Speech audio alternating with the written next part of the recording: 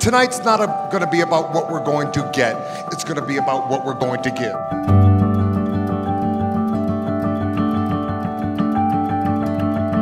The gifts that you are seeing and celebrating with us here tonight not only can carry the students themselves far in life, the artistic gifts that these young people have have the power to enrich us all.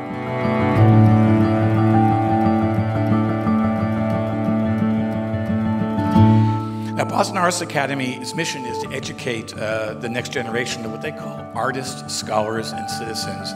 And in honor of this mission, each year BA recognizes individuals who embody the spirit of the Boston Arts Academy. To be recognized today by Boston Arts Academy is just validation that it's never too late to pursue your passion.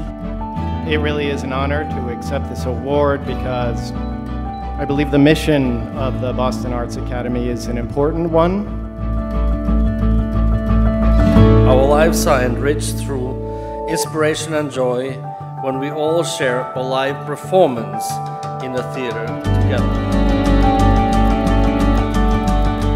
It is my privilege to announce that over the course of the next five years, we are pledging half a million dollars to the Boston Arts Academy.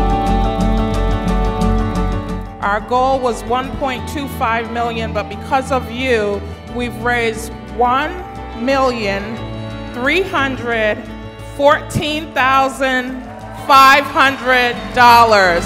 Thank you so much.